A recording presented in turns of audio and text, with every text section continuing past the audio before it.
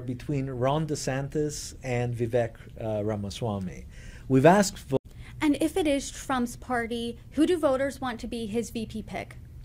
That's a great question. Uh, it seems like uh, the uh, Veep stakes are between Ron DeSantis and Vivek uh, Ramaswamy.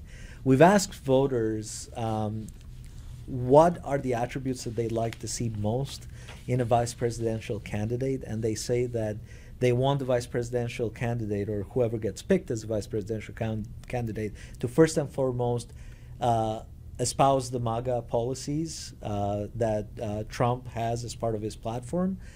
Secondly, they want someone who is fit to lead and fit to serve.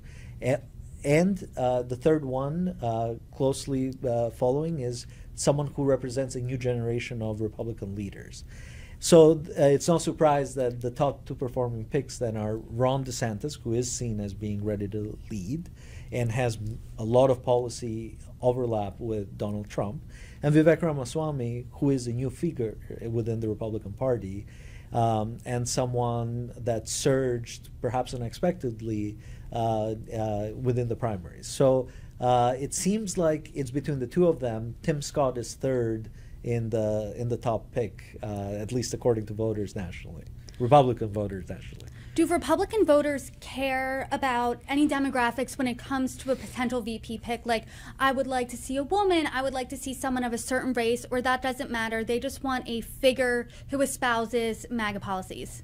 Uh, the way that they're prioritizing right now is policies first, uh, fit to serve second, and a new generation leader third. Um, uh, diversity in the ticket, whether it's on the basis of race or on the basis of gender, comes after those first three uh, variables or issues. Ron DeSantis, who is seen as being ready to lead and has a lot of in a vice presidential candidate, and they say that they want the vice presidential candidate fit to lead and fit to serve. And, and uh, the third one, uh, espouse the MAGA policies uh, that uh, Trump has a speaker within the Republican Party.